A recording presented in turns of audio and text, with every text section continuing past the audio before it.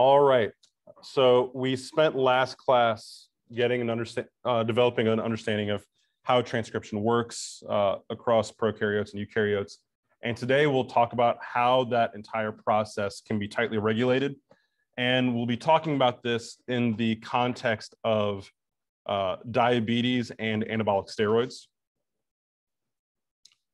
So typically, whenever we talk about gene expression, we are typically describing the uh, transcription of a specific gene as well as the subsequent protein production. And usually, uh, oftentimes that uh, the, the, a lot of that control can be happening primarily at the transcriptional level.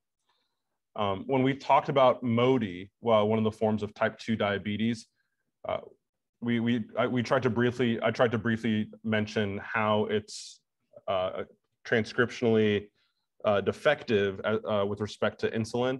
And it's not necessarily the machinery of transcription that's defective, but rather the regulatory mechanisms that control transcription. And so there's a, a defect in the regulatory mechanisms there. And the way anabolic steroids work is that they actually act on modifying gene regulation. And so we're, we're going to be talking about those at the end. Uh, but before that, we'll be trying to get a sense of how these things work. For anabolic steroids, uh, as many of you know, there are a lot of, while there are very clear benefits to anabolic steroid use, there is a laundry list of symptoms uh, or consequences that occur as a result of it. And so there's far too many for us to go into detail here.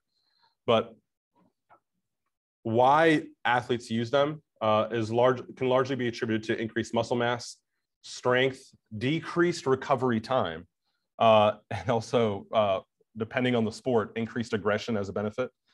And so these are these are instances where for a they provide a competitive advantage for athletes, but there's also a therapeutic benefit to them as well. Um, and so there are instances in different patients, depending on their disease state, where either anabolic steroids or the downstream uh, genes that are regulated as a result of their use can actually be therapeutic in some cases. So we're first going to try and take a look at gene regulation in the context of prokaryotes, and then uh, with that with that understanding of a of a simpler regulatory process, we'll then take it and uh, expand it a little bit in, in us and eukaryotes. So lactose is a, uh, for lack of a better phrase, it's a, a milk sugar, if you will. Uh, and typically lactose is, uh, is a energy source that bacteria can use in the absence of glucose. And so what ends up happening is that uh, lactose is, we talked about transporters and how they can shuttle different micromolecules or biomolecules in intracellularly into a cell. And so for lactose, the, uh, the transporter that shuttles it into the cell across the plasma membrane is called galactoside permease. And so galactoside permease can shuttle lactose in. And in an effort to use it as a substrate for energy for metabolism, there's an enzyme called beta galactosidase that actually breaks it down into glucose and galactose. And there are other enzymes that can actually take galactose and turn that into, into glucose. And so in a, in a deficient environment, in an environment deficient of glucose, lactose can actually become, lactose can actually become a substrate for energy. But what's important to note is that the transporter uh, and the enzyme, galactoside permease and beta galactosidase, they are not always going to be uh, largely expressed because again, this is in the case where there's not much glucose. And so it's not energetically favorable to be constantly expressing these, uh, this enzyme and this transporter protein.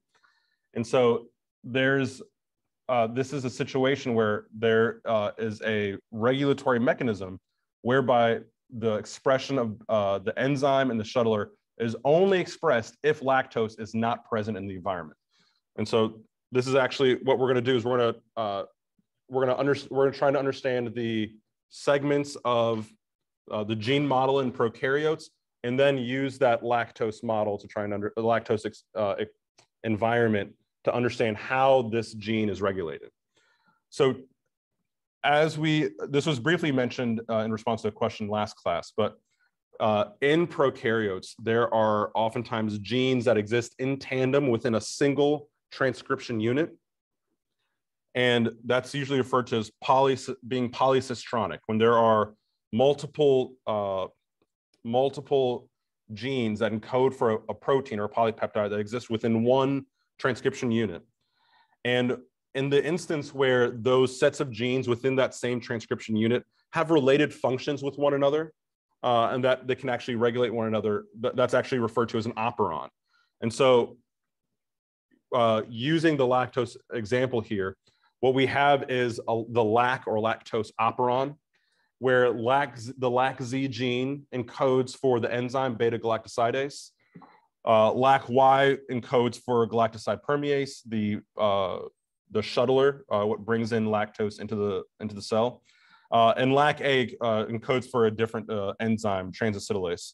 we're not going to focus on that here, but the, the, the main takeaway here is that in the operon model, that a, a related set of genes that work together uh, and that are within the same transcription unit, that's what we refer to as an operon. And when there's multiple genes within a single transcription unit that encode for different polypeptides or different proteins, that's referred to as being polycistronic.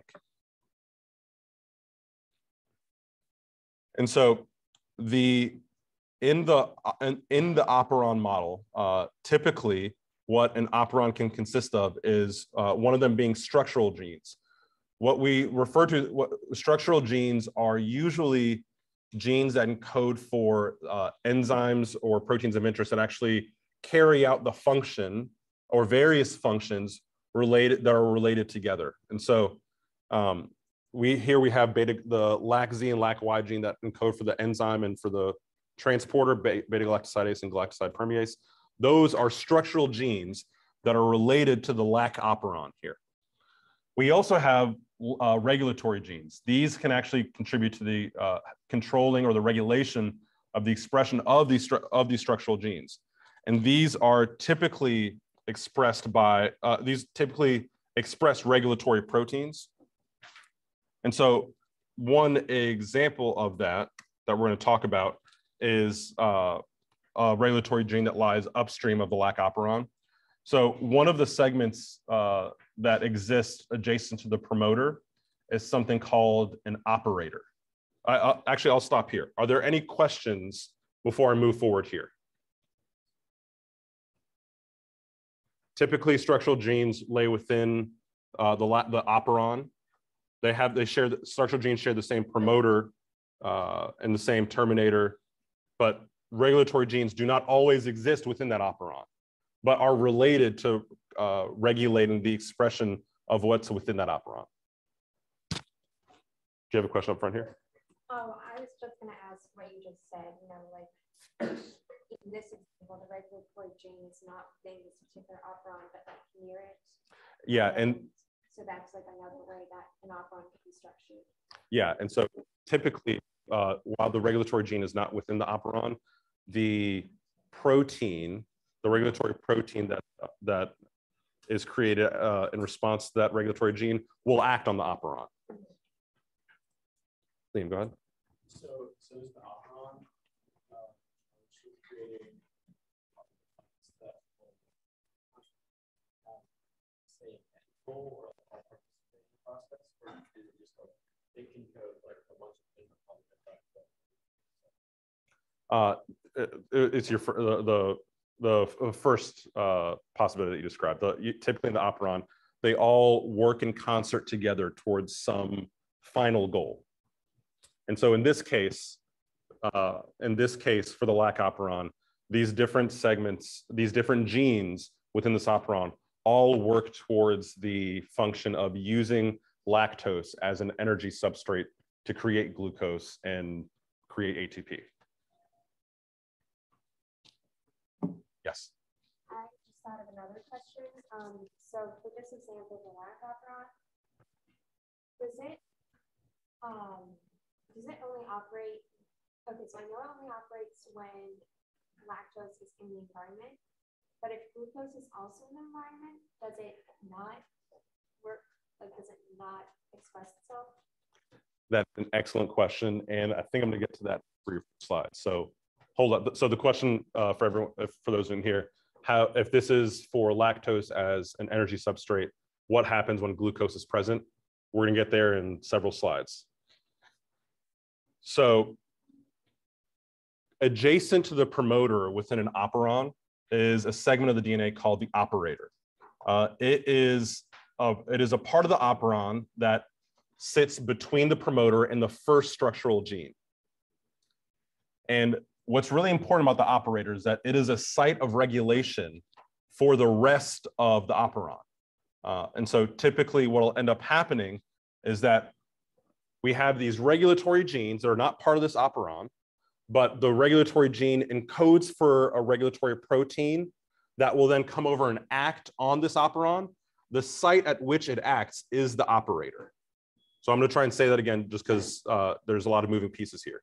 So again, we have our structural genes and regulatory genes. Structural genes are the parts of the operon that encode for uh, specific proteins or enzymes that help carry out an effector function that participates in this ultimate goal of what this operon is responsible for. Regulatory genes are, are not part of the operon. They don't share the same promoter. They're, uh, they might just let, they might just lie, they might just lie upstream from the operon. And in this case, that's how we draw, uh, we've depicted this regulatory gene here. This regulatory gene will encode for a protein. In this case, it's, uh, so LAC-I uh, uh, inhibitor. So the LAC-I gene encodes for a repressor protein. That repressor protein will act on the operator. Give me one moment while the, while I try and get this back on the screen. There we go. Uh, so the, the encoded protein on the regulatory gene acts on the operon and the site at which it acts is on the operator.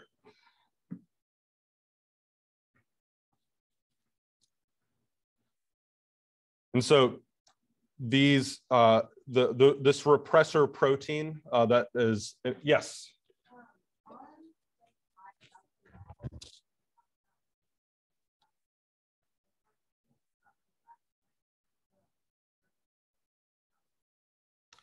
Yeah, that's a great question. So uh, there are,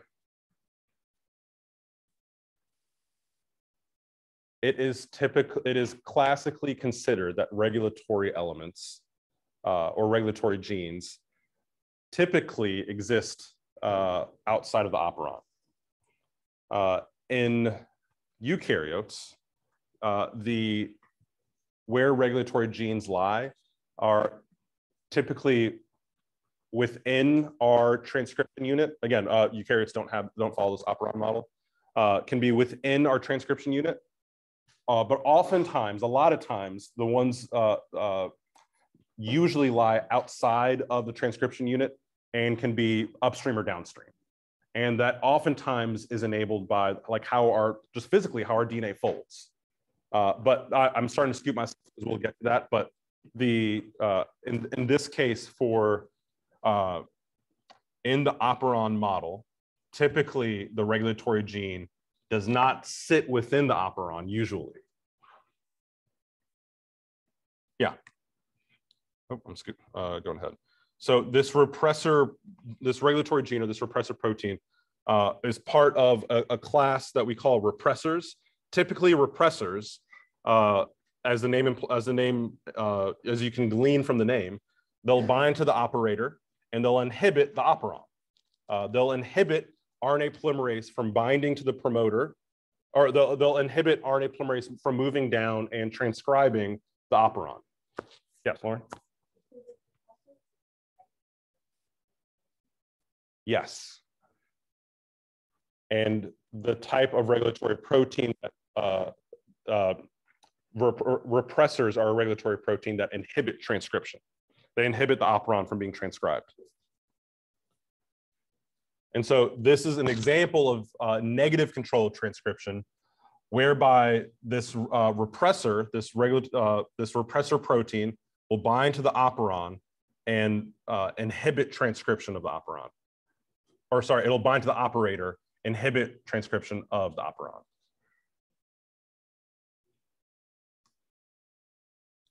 So what ends, so this, this uh, activity of the, of the repressor protein from the LAC-I gene, it'll bind to the operator without any, uh, with, with, it'll, it'll naturally want to bind to the operator of the lac operon. What's important though is that when there is lactose present, lactose will actually bind and allosterically regulate the repressor protein in such a way where now it, it, uh, it is now inactive. And so now in the presence of lactose, this repressor protein is allosterically regulated. It change, it's, it's bound to lactose, it binds to this other protein, it changes its conformation, and it's now unable to bind to the operator. So now what happens is we, we have lactose in the environment, it binds to the repressor protein, the repressor protein is now inactivated, and now RNA polymerase is permitted now to bind to the promoter and transcribe this entire lac operon, helping the, uh, that encodes for the enzyme beta galactosidase and for the transporter galactoside permease that now will help shuttle in uh, more lactose and help uh, uh, help break it down into galactose and glucose. Are there any questions there so far? Yes. So the repressor gene is LAC-I gene. You can think of it as inhibitor for the eye. So this is the regulatory gene. It's not within the operon. Uh, so this gene encodes for the repressor protein. And this repressor protein will typically bind at the operator adjacent to the promoter. Operators by nature, uh, but by definition, operators will sit between the promoter and the first structural gene. So that's like a site where even if RNA polymerase 2 uh, is permitted to bind, it won't go because of the inhibition of that repressor protein. But here now, lactose inhibits, or it's inhibiting the inhibitor, for lack of a better phrase. So a negative and a negative and a negative yields a positive outcome. So uh, it's inact inactivating the suppressor, permitting RNA polymerase to transcribe and uh, promote the transcription and subsequent translation of the enzyme and the uh, transporter. Yes, Ahala? Um, does the, the regulatory protein go back to the Hold that thought. So the, the, the way I understood, to make sure I understood your question, after lactose is being metabolized, uh, the byproducts of that, how does that affect the, these genes? Yeah, hold that thought. We'll get to there as well. You guys are asking great questions that we'll get to in just a moment. So this is an example in, uh, in prokaryotes where uh, this is a catabolic pathway where uh, something is broken down uh, and, and, to be used as an energy source. So the lac operon helps mediate the metabolism of lactose in glu into glucose and galactose as a substrate for energy. Uh, there are also situations where there are operons that help mediate the uh, uh, anabolic pathways, the taking building blocks to create something. And so one example of an anabolic pathway uh, in this operon model is the, uh, you, the production of tryptophan, where it can be, uh, and tryptophan is amino acid that we, uh, it feels like ages ago probably for some of you, but from the very first lecture. Uh, and so it, in the, abs in, uh, in the absence of tryptophan, uh, there can actually be uh, an anabolic pathway that's triggered. So for that, so we talked about the lac operon for lactose. This is the trip operon for tryptophan. So here what ends up happening is in the uh, in the presence of tryptophan here, so the, the we're, we're gonna be focusing, we're gonna first look at this from the perspective of the repressor protein on the trip operon. In the presence of tryptophan, uh, the repressor will actually bind to the operator.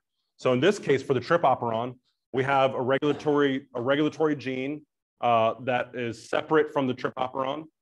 When the trip, when the regulatory gene for the trip operon, uh, when it's, it encodes for a repressor protein that is inactive.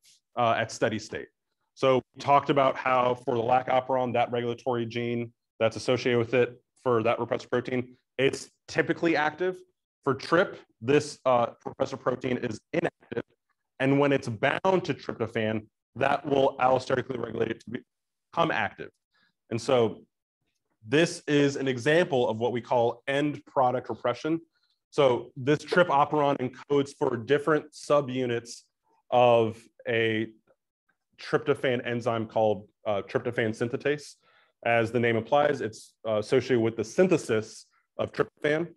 And so when there is enough tryptophan present within the system, within the cell, this will provide a feedback loop where it'll shut down the synthesizing enzyme that makes up the TRP operon. And so this is what we call end product repression. The end product, the ultimate goal for this TRP operon is to make tryptophan or to make the enzyme that mediates the synthesis of tryptophan. When there's enough, that will feed back to turn off the, uh, the TRP operon. So this is end product uh, repression. Uh, whereas the previous example that we talked about with the lac operon, uh, that is uh, what we typically uh, call that as substrate inhibition. And so this is our substrate induction, sorry. Substrate induction for the lac operon, end product repression for the TRP operon. And you can kind of glean what that means from the name where end product here, the tryptophan is repressing the TRP operon. Brandon, do you have a question? Yeah, um, so just to sort of summarize the two operons, the lac operon is normally off and the is normally on. Yeah, because in this case, tryptophan is part of uh, this. It's building up tryptophan to use it as a substrate for uh, to metabolize for energy for uh, bioenergy. And so when there is enough, it'll feed back and turn off this uh, this operon. Whereas for lactose, when they're uh, and I think this goes back to a question you were asking about glucose. We'll talk about how glucose participates with this. But when there's when there's uh, when there is an increase in lactose concentration, it'll work to uh, turn off the repressor protein and turn on the lac operon. Are there any other questions?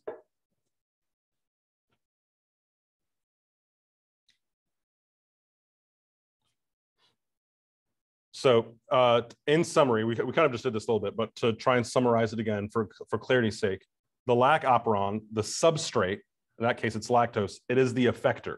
It is what's carrying out the function here, the, and it's binding to the repressor uh, that, will, that acts on the operator and allows the lac operon to be transcribed. So that's substrate induction. The substrate is lactose and it's mediating the induction of the lac operon. In the case of tryptophan with the trip operon, that's end product repression, where the ultimate goal, I'm I'm gonna keep using this because I like the way Liam said this. The ultimate goal of the lack of the trip operon is to make tryptophan, and it makes an enzyme that helps mediates the synthesis of it. Once there is enough, once that goal has been met, tryptophan will, will feed back and activate the repressor protein and turn off the trip operon, end product repression. Uh, both of these, while they're different, uh, both involve and include negative forms of negative, regu negative regulation.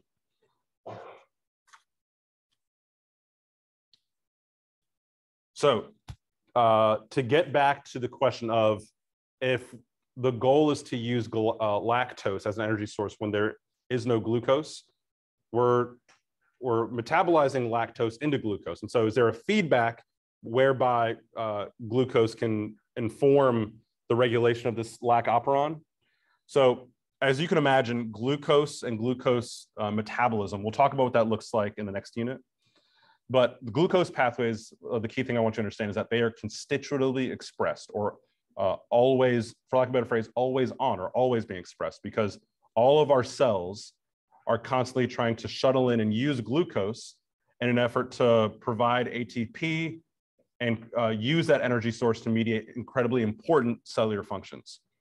And so this is what's important. If glucose is present, that will turn down other metabolic pathways like lactose uh, catabolism or this lac, uh, this lac operon like we've been talking about. And the way in which it does that is when glucose is, when glucose concentration is high, it'll actually decrease the concentration of uh, second messenger cyclic AMP. So there's uh, upstream from the promoter on the lac operon, there's what, what's called the CRP site. CRP stands for the catabolite regulation protein. And so CRP, when it's in a complex with cyclic AMP, creates a transcription factor that helps uh, mediate RNA polymerase to bind to the promoter better and promote transcription. So when there is high glucose levels, there's less cyclic AMP, which means there's less formation of the CRP cyclic AMP complex. Now, when glucose is absent, it'll want to turn up other pathways like this lactose pathway with the lac operon, which means when glucose concentration is low, cyclic AMP concentration will go up and it'll form the complex with CRP, whereby this complex will serve as a transcription factor that binds to the CRP site. Uh, and this creates this uh, pre-initiation complex now where RNA polymerase will more readily bind to the promoter and mediate transcription. So the way in which glucose, again, the way in which glucose participates here is that glucose is inversely related to cyclic AMP concentration. And cyclic AMP is part of an important complex with CRP that, uh, that's a transcription factor at the CRP site, just upstream from the promoter. So this is an example of positive regulation. So again, if there is glucose and there is no lactose, would y'all expect for the lac operon gene to be transcribed and turned on? Raise your hand if you say no. Raise your hand if you say yes, the lac operon will be turned on. Raise your hand if you don't care. Uh, just want to get you guys to laugh. All of you guys look so defeated right now. Um, so when there is glucose and there is no lactose, the lac operon will not be on because again, when there's high glucose, there's going to be low cyclic AMP. So there's not going to be a transcription factor to uh, that tra transcription factor complex will not increase, will not increase transcription of the lac operon. And in addition to that, if there's no lactose, the repressor protein will be inhibiting the lac operon. Now, if there's no glucose, and if there's a ton of lactose, do you expect the lac operon to be turned on, for lack of a better phrase, or to be transcribed? Raise your hand if you say yes. Raise your hand if you say no. Raise your hand if you don't care. You guys are right. Uh, and I would have mentally judged you if you said I don't care. Um, so in the case where there's no glucose, in the case in it, when there is a high concentration of lactose, this will help mediate the formation of that transcription factor to elevate uh, the propensity for RNA polymerase to bind to the promoter and the repressor protein will not be binding to the operator region. So a couple more items before we jump into eukaryotes. Um, so the regions uh, around which the, uh, a region around the promoter where regulatory uh, proteins can bind, those are what we call cis-acting elements. Um, they are, they are, they are when we when we talk about cis, an important when we talk about elements, that's always at the DNA level. We'll have cis acting, perhaps, uh, as you imagine, there's cis, there's trans acting. Uh, those are transacting elements. There's transacting proteins and the proteins that they encode for. So elements usually equates to DNA here. So cis acting elements are, are, are what act close, situ, are closely situated to the promoter uh, and to the operon there. Typically, the regulatory genes, like I described, are not within the operon, they're distant. So an example of the cis acting element is that CRP site that we just talked about on the previous slide, the operator that at uh, where the uh, repressor proteins act on, they're, they are physically close to the promoter and can help control regulation. And so those are examples of cis acting elements. The regulatory proteins or repressor proteins that come from regulatory genes, those are trans acting elements. They are on a part of a different operon or a part of a different gene that's controlled by a different promoter. So they are acting, uh, they exist far away from this part of the DNA, and uh, these trans acting elements will act on trans on a different uh, DNA. So the regulatory gene for the TRP and the lac operon is a transacting element because it's on a different uh, transcriptional unit. and it'll come over and act on, uh, typically act on the cis acting element. And so, for example, the again the regulatory genes and the repressor proteins that uh, that originate or come that are encoded by them are examples of transacting elements. And so, I want to make sure that this is incredibly clear and not confusing. So, transacting elements encode for transacting proteins. Those transacting proteins might act on typically acting element. So, for example, the regulatory genes encode for a repressor protein that act on the operator, that cis-acting element. But the, the, what encodes for that transacting element is a, or transacting protein or factor is a transacting element. Are there any questions about this? You guys have been asking great questions, so don't hold back. All right. So we're going to talk about what these uh, cis and transacting elements look like in eukaryotes. And so for, for prokaryotes, we talked about how we looked at how these cis acting elements are really close, by, are typically close by the promoter. For eukaryotes, it's not, uh, it, there's a bit more leniency on what we define as a cis acting element, but the basic principles still apply here. We still have a promoter we still have a transcription unit, we still have a terminator, we still have uh, an RNA polymerase, in this case, RNA polymerase 2, that's binding to the promoter, and its binding is regulated by how many transcription factors might be uh, binding and creating this pre-initiation complex. So in eukaryotes, the trans-acting proteins uh, are typically uh, oftentimes going to be transcription factors, and they will bind to cis-acting elements. So the transcription factors they're encoded for maybe on, on a totally different uh, chromosome, but that transcription factor will recognize and bind to uh, segments of the promoter region that is a, that promoter region or segments of as a cis-acting element. So again, transacting elements are on a totally different segment of the DNA, but the protein that they encode for can oftentimes promote its regulation by acting on the cis-acting elements. And so, like I just said uh, a moment ago, the typically the cis, the definition or how we characterize cis-acting elements in eukaryotes is a little more lenient. Uh, they can oftentimes be thousands of base pairs away from the transcription unit from the gene of interest, uh, but they're still on the same linear piece of DNA. They're still on the same chromosome, still on the same linear piece of DNA, but just could be thousands of base pairs away but by nature of how our uh, chromosomes are packed in and how our DNA is packed in, uh, it's it's still physically, it's oftentimes still can physically be close by. And so to help give an example, yes, cool. Um, was reading about um, the uh, difference between the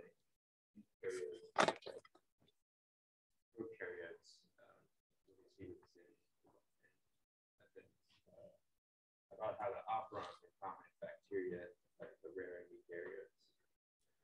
eukaryotes? Yeah, so typically our DNA, our transcription units, our genes, um, our transcription units are typically one single gene, whereas for prokaryotes, it's typically multiple genes in tandem. So that means that prokaryotes are polycistronic, it means they have poly, uh, like many genes within one transcription unit.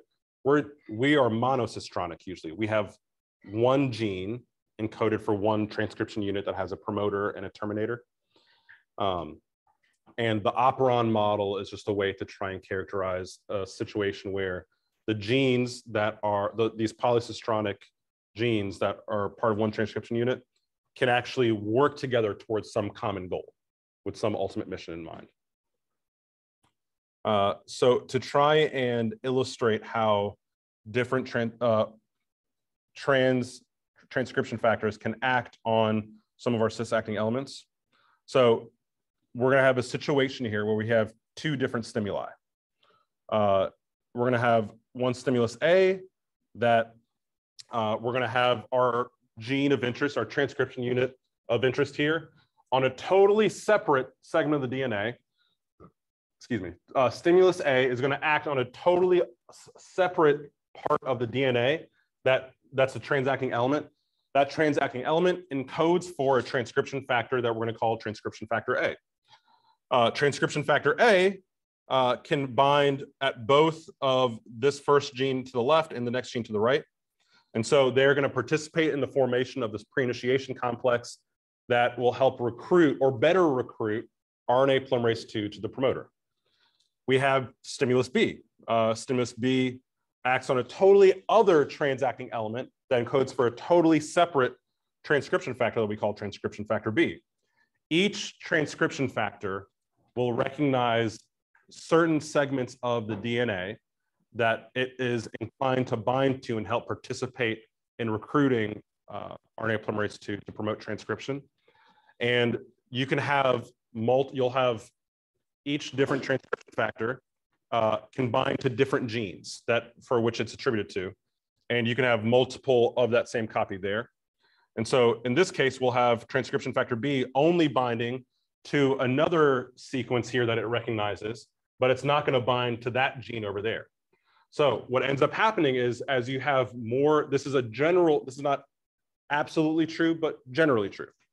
The more transcription factors you have, you, uh, you'll increase the likelihood of RNA polymerase II to come in and bind more readily and more quickly to promote transcription. And as, uh, as a result of that, when you compare the degree of transcription or how many transcripts are uh, created at at these different genes with more transcription factors, you're going to have more transcripts because it's more readily recruiting RNA polymerase II and, and its participation in creating this pre-initiation complex. Are there any questions here on the control of uh, transcription factors on gene expression? Yes. mRNA transcripts. Yeah, cool. How many transcription factors do you think uh, would testify the polymerase by? Yeah, so that is, I don't know. It's not, uh, it's not typically, you know, typically we have, uh, there's, even though it's depicted as one transcription factor A at each of these promoters, um, you're typically, it's not typically just going to be one. Um, and in addition to that, these are oftentimes existing as dimers or tetramers that can physically wrap around the DNA. And you're, and typically it's probably not just going to be one dimer or tetramer. And so you might have more than one of transcription factor A and uh, multiple other species of transcription factors. How many, like a precise number, I really don't know. But what we can say is that as a general rule of thumb, as you have more transcription factors per, uh, creating this pre-initiation complex, you're uh, increasing transcription. Are there any other questions? All right. So for cis control elements, again, uh, the, the, definition of cis control elements in eukaryotes is a little bit more lenient uh, when compared to prokaryotes. And so because it is oftentimes can be anywhere within the same linear segment of DNA, we need to partition out which ones are closer and which ones are a little further away. And so as a general rule of thumb, uh, here we've written 100 base pairs. You could read a review paper that says uh, that distinguishes them at 200 base pairs, but it's just uh, a ballpark estimate. Proximal control elements are typically within 100 base pairs, upstream or downstream of the uh, promoter region. Uh, distal control elements are usually more than 100 base pairs away uh, and can be upwards of 1,000 to 10,000 base pairs away, but still are able to act on our gene of interest. And the means by which they do that uh, are, and we're going to, I'm trying to pick this uh, with either an example of an enhancer that enhances transcription or repressors that repress or inhibit transcription. So up above, we have a segment of the DNA that's far upstream from the core promoter. That's an enhancer. We have these activator proteins that will bind to the enhancer regions of these disc control elements. And again, because our DNA is wrapped and coiled, folds in on itself, these enhancers will come in and help uh, with that participation of co-activers, help mediate it, mediate the binding of TF2D to the core promoter region, as well as help participate in the recruitment of other transcription factors to the core promoter. So uh, an enhancer is a downstream site that's one to 10,000 base pairs away that by nature of how our, our DNA folds upon itself can actually work distally on our gene of interest by either promoting the formation of that pre-initiation complex or inhibiting it. And when it inhibits it, we call that distal control element a repressor.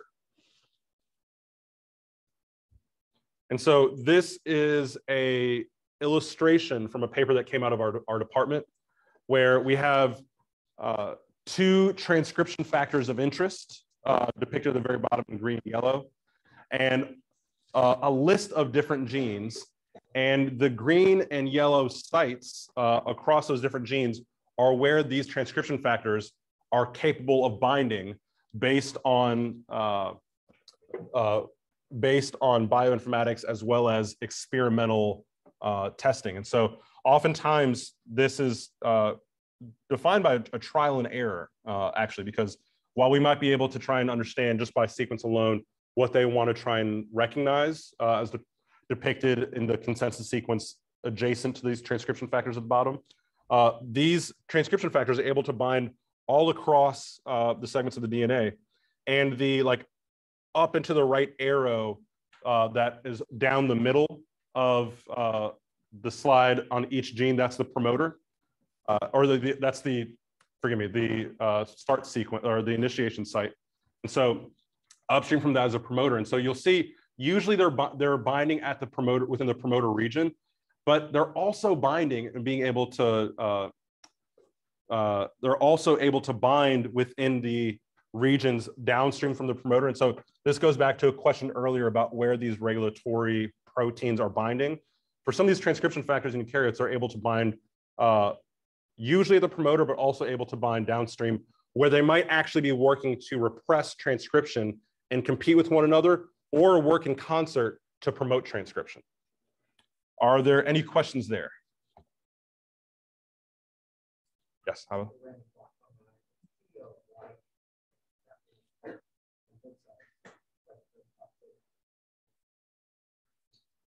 Uh, that's usually for uh, any, uh, I, I, believe it's usually for any pyrimidine. And usually for the R, it's usually any kind of purine. So like, it's not like a specific one nucleotide that needs to be there, but can be either of that species. All right, so to take all this and apply it to MODY and anabolic steroids in four minutes, we're gonna do it. So uh, there are lots of different mutations that are oftentimes associated or genotypes that are associated with MODY, uh, as well as downstream phenotypes. The, the one we're going to focus on the most that, as this slide depicts, attributes to 70% of cases is uh, mutations at this HNF protein. So uh, MODY and HNF. So HNF stands for hepatic nuclear factor. And another key player that works in concert with that is uh, DCOH, dimerization cofactor of homeodomains. That's gonna be the one time I'm gonna say the whole name. We're just gonna call it DCOH.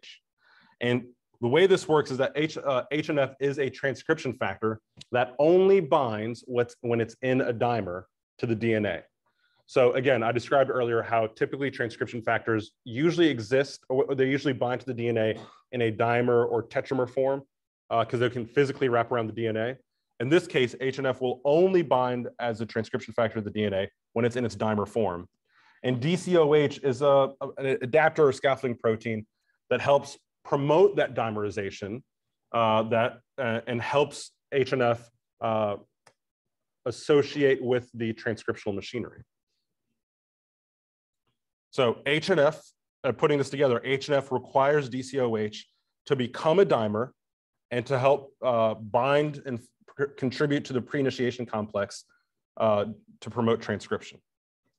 So to illustrate it here, uh, DCOH usually exists as a homotetramer, and we have our HNF monomers, or not monomers, our HNF uh, single, uh, single proteins. And so what ends up happening is that HNF, uh, when present, is able to bind to DCOH and promote the formation of an HNF dimer. And those two together will actually go to and bind to the promoter of the insulin gene and promote the transcription of insulin uh, and subsequent expression of it.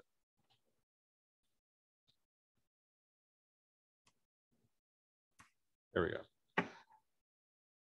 In MODY, the mutations that are present exist at where HNF and DCOH interact with one another.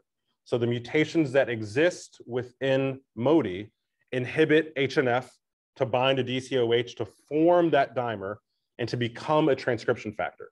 So because of that, these mutations that a lot, lot of patients in MODY have uh, usually uh, inhibit the expression of insulin. And there's, lot, there's lots of different mutations, but typically mutations that have the greatest uh, phenotype are where HNF and DCOH uh, actually interact, interact with one another. Treatments for MODY, as you can imagine, this is a disease where insulin is not being made. So insulin treatment is the most common, uh, uh most common treatment for patients that, with this disease. Uh, another treatment are oral hypoglycemics. Uh, they're drugs that help promote the release of insulin during hypoglycemic events. And so sulfonylureas uh, don't promote more insulin expression, but help promote better trafficking and release of insulin. Uh, there are more experimental approaches like pancreatic islet transplants. Uh, the islets are where like the beta cells that are, uh, are dysfunctional exist. And so these beta cells that have this HNF mutation can perhaps be replaced with new islets and new beta cells or there can sometimes be an entire transplant. Uh, but these are more experimental approaches that are still being investigated. For steroids, I'm gonna get this done in one or two minutes if that's okay with all of you.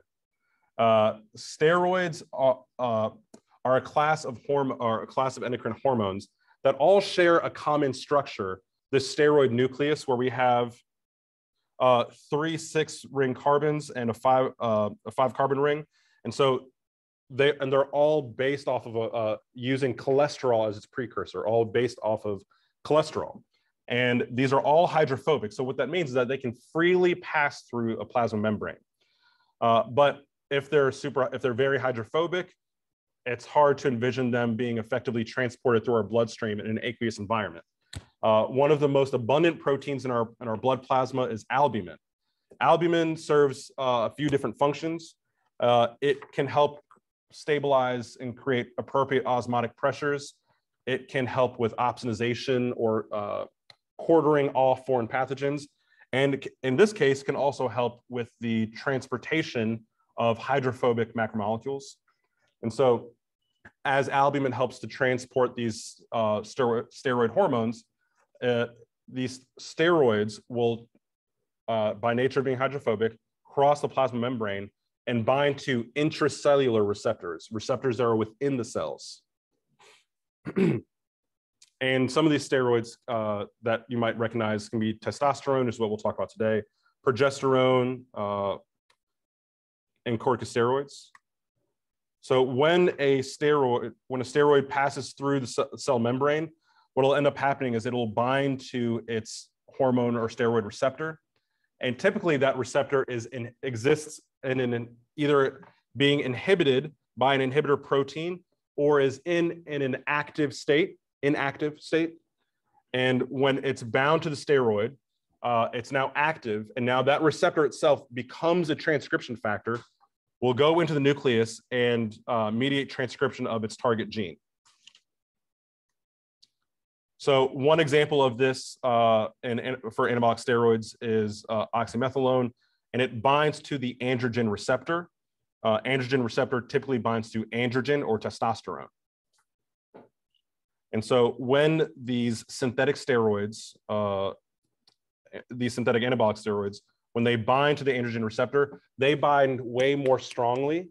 But in addition to that, what ends up happening is that because it's binding more strongly than the natural ligand, natural androgen or testosterone, it's going to end up creating some downstream effects where it is preventing uh, a feedback mechanism on the receptor. So we talked about the uh, uh, end product, uh, or we, we talked about these feedback loops where uh, the gene for which the, that encodes the receptor might be uh, altered or perhaps uh, perhaps there are downstream modifications that happen post-translationally. With these synthetic steroids, they're preventing these modifications from happening and can, as a result, is always having androgen receptor on constantly. And so that's part of the reason why you'll see people who take steroids the consequences that exist as a response uh, as a result of that don't go away because now it's constantly being turned on. And so what happens next as a result of that? Uh, the genes that androgen receptor, when it becomes a transcription that it binds to, binds to insulin-like growth factor one, uh, or we call IGF-1. IGF-1 uh, is a peptide hormone. When it binds to the receptor that it recognizes, it triggers protein biosynthesis and prevents bio uh, degradation of proteins. And so it creates this pro-growth uh, and con constant uh, uh, hypertrophy in muscle mass being created as, as a result of enhanced IGF-1 signaling. Uh, now, as I described before, these, uh, these and, and anabolic steroids have these consequences, but can be used clinically. IGF-1 is used therapeutically to help promote uh, tissue growth uh, or overall growth for people who have disabled growth, especially for young kids. And as you can imagine, IGF-1 itself can become a performance enhancing agent. I'm on the very last slide and went out on me. Uh, IGF-1 also contributes to animal size. And so in animals where there's uh, diversity in size like dogs, Great Danes typically have high IGF-1 signaling and Chihuahuas have low IGF-1 signaling. Uh, there's a great group of people that look at transcriptional regulation. This is one, uh, a snapshot of it, but there's even more and I'd be happy to tell you about it afterwards. Thank you for giving me five more minutes of your time. You guys have a good day.